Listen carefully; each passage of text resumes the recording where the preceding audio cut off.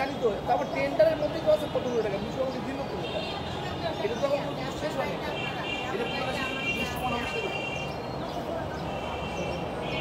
হয় এটা